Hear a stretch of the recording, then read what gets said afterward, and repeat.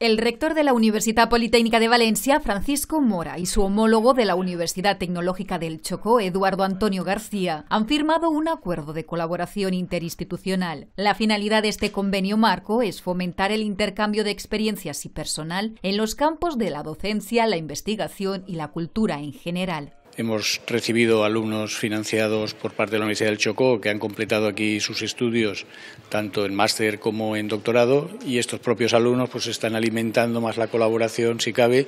y desde varios cursos académicos pues se vienen estableciendo vínculos estrechos y ya el tema de investigación pues ya alcanza proyectos destacados. La Universidad Tecnológica del Chocó es una institución pública, ubicada en la ciudad colombiana de Quibdó, fundada bajo el nombre de Instituto Politécnico Universitario Diego Luis Córdoba en el año 1968. Imparte en la actualidad 40 programas de pregrado y otros 11 de posgrado. Esta universidad lo que trata es de fortalecer los procesos de investigación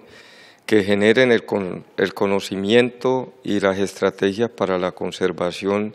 y el aprovechamiento de esta riqueza natural que hay en esta región. Con la rúbrica de este acuerdo se consolida la relación entre las dos instituciones iniciada hace años. Se empezó con los antiguos programas en Colombia, se continuó posteriormente con financiación de AECI y de distintas organizaciones españolas, se ha proseguido con el proyecto COPEN a través de Erasmus Mundus, financiación europea, y ahora actualmente ya con financiación de Colombia, pues seguir esa relación y consolidarla para llevar a cabo los objetivos recogidos en el convenio marco suscrito entre la Politécnica de Valencia y la Universidad Tecnológica del Chocó, una comisión de seguimiento integrada por representantes de las dos instituciones será la encargada de elaborar periódicamente un balance de las acciones realizadas. El acuerdo suscrito tendrá una validez de cuatro años con posibilidad de renovarse.